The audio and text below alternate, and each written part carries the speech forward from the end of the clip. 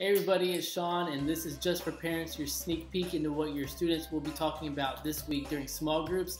I'm at my house, and we're in full blown Christmas mode. They're watching Elf back there. Kids are making chocolate covered peanut butter cracker cookie sandwich things.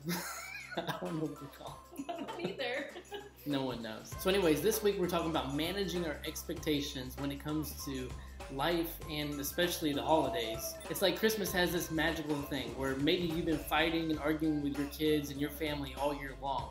But when it comes to Christmas, you have this expectation that you're all going to be sitting in front of a fireplace and you're all going to get along and sing carols together.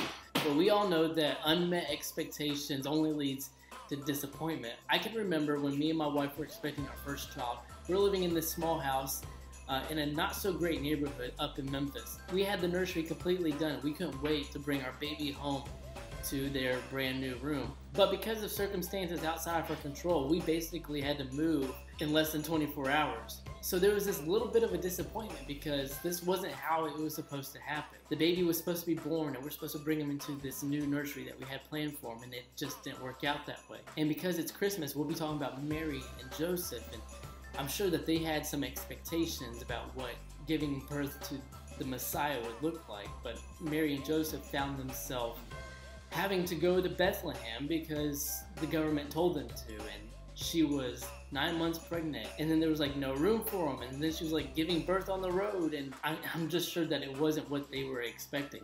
But the truth is, is that whenever we dive into the Bible, what we find is that we're not really promised any sort of specific type of life. Like life isn't going to look like this or that. What we are promised though is that God is with us. And we have that promise all because of that first moment when God came in the flesh as a baby, ultimately to save us from our sins so that we could be in Him day in and day out.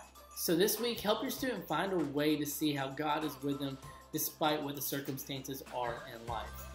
So I hope to see you and your student this Wednesday night at 5.30 to 7 p.m. See you next time. Peace.